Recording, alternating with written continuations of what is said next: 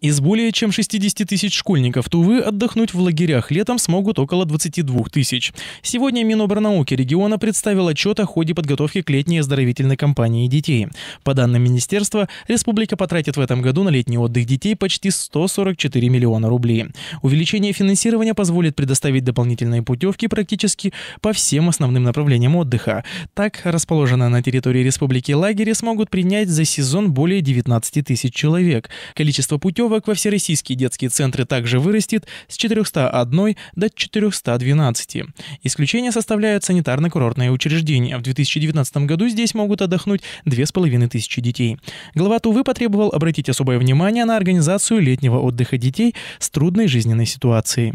Таких приблизительно 15 тысяч, в том числе около 300 подучетных за правонарушение. Вот о них надо позаботиться отдельно, чтобы не бродили сами по себе, не болтались где попало, были заняты, накормлены, одеты, обуты. Дело нужно так поставить, чтобы за каждого из них было с кого спросить индивидуально. Конец цитаты. По словам министра Татьяны Санча, к лету в республике должны быть подготовлены в общей сложности 195 лагерей, в которых отдохнут более 19 тысяч детей. Кроме того, с прошлого года Миноборнауки начал практиковать работу временных досуговых центров для подростков, которые остались вне организованного отдыха. В 147 таких ВДЦ минувшим летом были заняты более 6 тысяч детей от 6 до 18 лет.